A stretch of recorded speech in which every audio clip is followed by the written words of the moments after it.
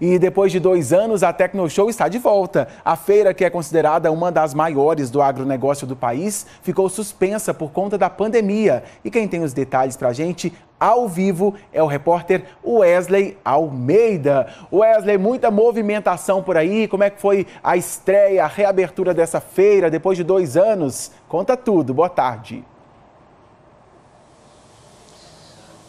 Abertura com cara de Tecnoshow, viu, Tiago? Boa tarde para você e para todo mundo que está acompanhando a gente. Essa abertura oficial aconteceu por volta de 8h50 da manhã. Contou com a presença de várias autoridades, prefeitos de várias cidades do nosso estado. Teve também a presença do presidente da cooperativa Comigo, Antônio Chavaglia, e também o governador do estado, Ronaldo Caiado. O presidente da cooperativa Comigo, inclusive, comemorou esse retorno da Tecnoshow. Foram dois anos sem esse evento, justamente por conta da pandemia pandemia.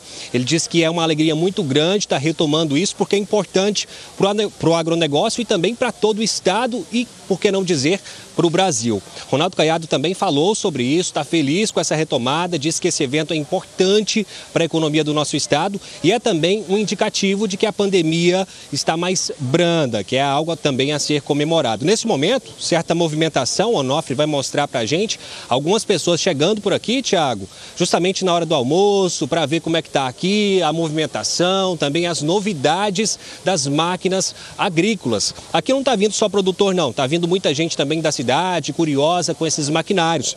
Tem muita tecnologia por aqui. A gente conversou mais cedo, inclusive, com uma das pessoas que está vendendo aqui um maquinário, Tiago. E olha, olha só que interessante.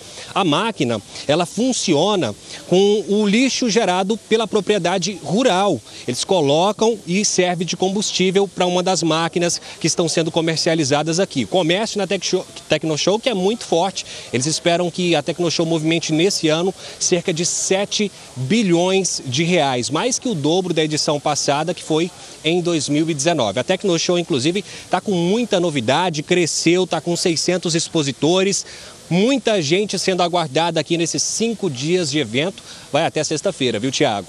Bem legal, daqui a pouquinho a gente dá uma volta aí. Valeu, Wesley, por sua participação. Até mais.